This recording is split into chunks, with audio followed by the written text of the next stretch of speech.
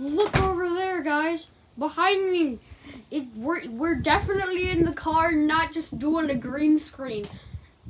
If this, if the, if the green screen isn't even working, I'm kind of holding the phone backwards.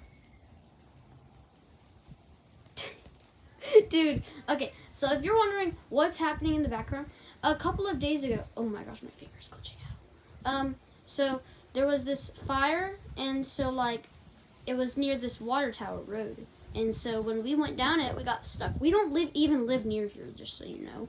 But this tower was on fire. I don't think it was on the news, but it stunk. Like it took for we just had to turn around. We were gonna go get a drink, like we were gonna go get some bug juice or whatever, and this happened. So be careful out there.